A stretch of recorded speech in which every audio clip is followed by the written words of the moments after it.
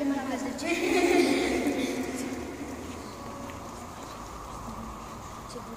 Da, ea vreau să spună că nu poate să se gândească deocamdată la medalia olimpică pentru că este la o categorie mai mică.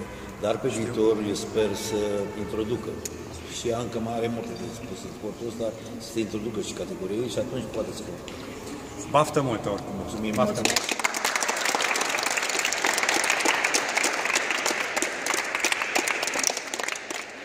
și chiar sunt mândră că mă aflu între voi și chiar uh, vă aștept la Lia Manoliu la 23 august să veniți să practicați și voi acest sport minunat, acest box. Aici sunt uh, antrenorii mei, iar ea este fostă colegă de mea, acum este antrenoarea mea, campioană mondială, campioană europeană și singura participată la Jocurile Olimpice de la Londra. Și dânsul este antrenorul meu, Andreea Lăcătuș de aici de la București și chiar și părintele îl consider ca un părinte. Și chiar uh, aș dori tare mult să veniți să facem uh, antrenamente la sala de box la Lia Maneliu la 23 august. Și sper că, eu zic că puteți să vă realizați numai din, din sport. Eu chiar vă, vă doresc mult succes la școală și să ajungeți, uh, să nu lăsați școala, pentru că școala este pe primul plan și să ajungeți uh, acolo unde vă doriți cu adevărat și puteți să vă reali- realizați nu numai în sport și eu vă spun, vă doresc de fapt să practicați sport pentru că sport este sănătos. Și eu vă doresc mult succes. Înainte de asta, Este o onoare. să vă facem o demonstrație, ea și cu alții, doi campioni. Să vă arătă de fapt că boxul nu este bătaie, boxul este o scrimă pugilistică. Este arta de a lovi fără să fi lovit.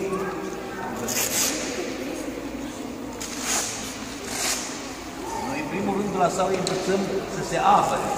Pentru că de lovit, lovește în succes.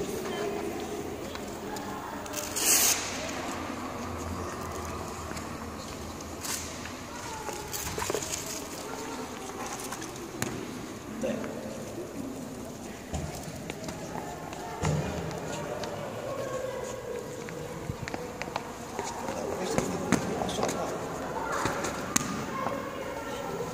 Sigur că aici lipsesc căști.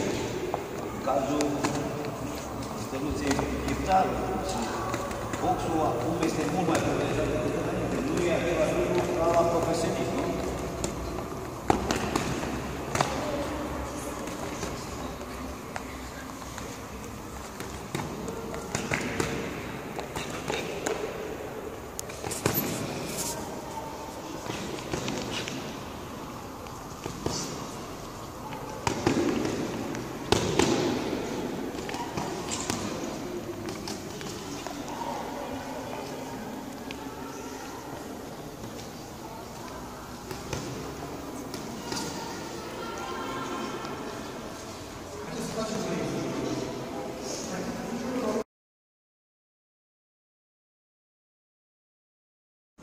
Sunt uh, extrem de rare momentele în care campioni mondiali ajung la noi în școală.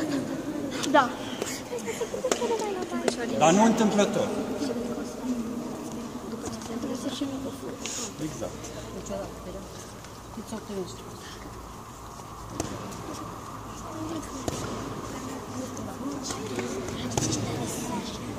Chiar vă rog să ieșiți la, la Lia